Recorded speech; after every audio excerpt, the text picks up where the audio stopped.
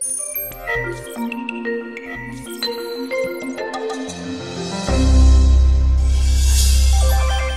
you want to extract or rather change a date into the start of the week or end of the week date? Well, in this video, I'm going to show you how to do that with Excel functions, Power Query, or Power BI. Now you can just watch that and run away, but I also want to give you an understanding of how those functions actually work so you can use them in any scenario. So if you want to learn that, stick around till the end of the video. So without further ado, let's jump into it. We have this data, we have the date, and now we want to change that date into a start of the week date. And the formula goes like this. We take the date and then we subtract the weekday of that date.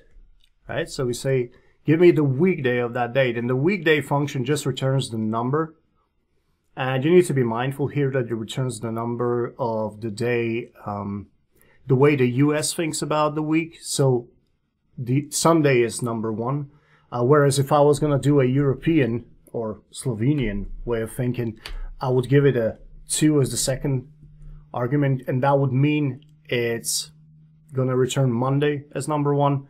Um, but since everything is in the US data types anyway, so I'm just going to leave it at that. So this will actually give me the last date of the previous week. So what we need to do is plus 1. And this gives me the first date of the week within which that date resides, right? So all these dates are obviously still within the same week and then the second week starts. And the end of the week is very similar. The first part of the formula is the same. So you go date minus weekday of that date. So up to here is the same. Uh, remember how I said previously that's the last day of the previous week. So here we need to do a plus seven. So add a whole week to it and you get the last date of this week. So now you'll see that this is actually one day before this, right? This is the end day of the previous week, whereas this is the first day of the next week. Okay, so this is how formulas in Excel would work. The second way I want to show you is with Power Query. So uh, the title says Power Query or Power BI. Now I'm only going to show you Power Query because it's the same interface. You do it exactly the same way. So here we have a table with dates. Let's push that into Power Query. It shoots up a Power Query edit editor. And what you say is, here I have some dates. Now, these don't need to be uh, date time. They need to be dates. So I'm just to do it like this. And then what you do is you say, here I have a date. I want you to add a column for me. And that column should be week, start of week. And that's all you have to do. And if I do it again, and I go like this, and I say, so I have the dates, add a column for me, week, end of week. And there it is. And I can remove this one and just go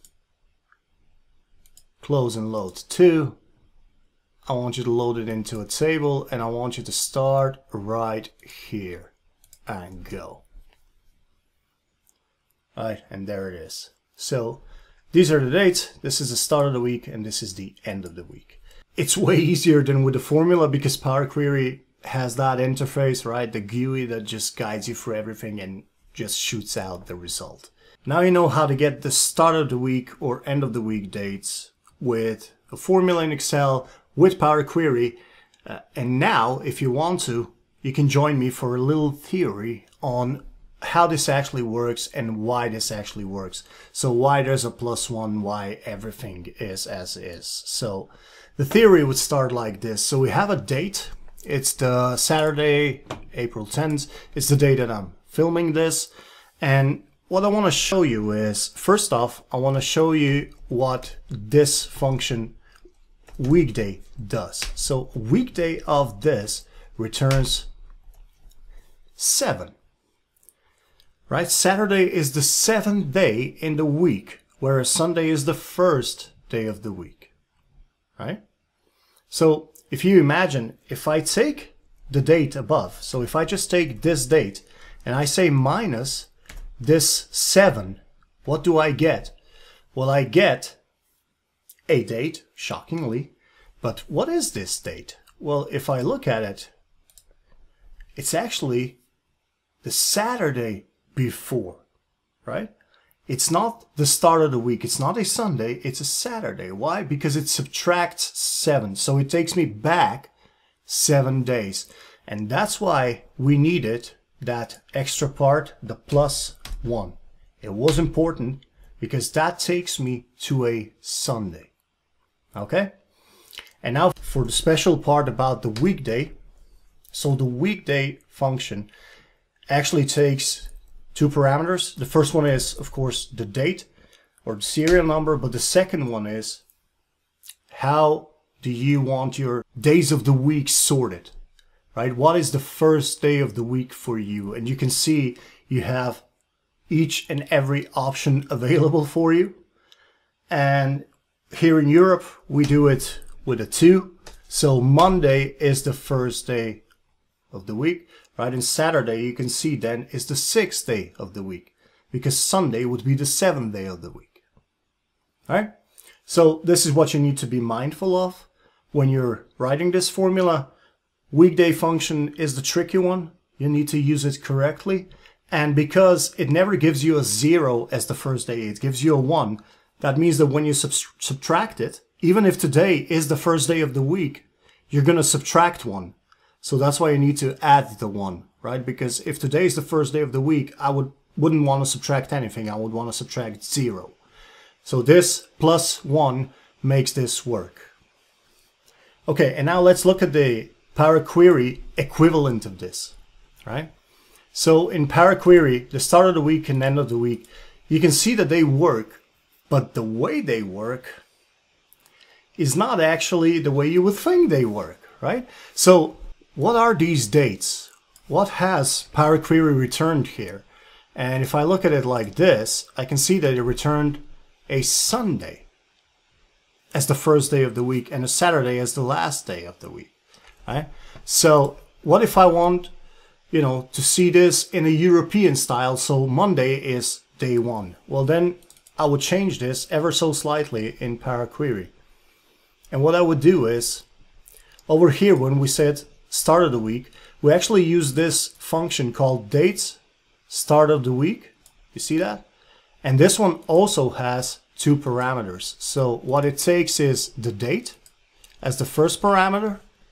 So you take the date and then a second parameter is what is the first day of the week. And the way you make that work is you say day dot and then you say well for me the first day of the week is actually Monday.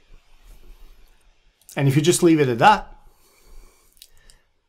that would give you a result that you expect right? So if I now close and load this you can see it changed ever so slightly and now if I look at the start date, now it's a Monday, right?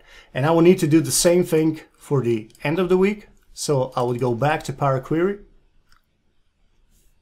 I would take the formula for the end of the week. So I would take that step, see what it was and give it that second argument and say day dot Monday. So Monday is the first day of the week for me. And now if I close and load this, now you'll see that this end day returns into Sunday. Okay, now you know everything. So, because you've been so good and eager to learn, here are some bloopers from this video. And I'll see you in the next one. So without further ado, let's just jump. It itches. So without further ado, let's jump into it. So this is the data that we have. We have some dates and now we want to... What was that funny word I used? Change. Okay. The American way of...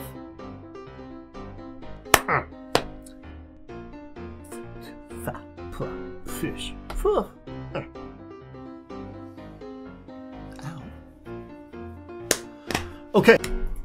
Okay.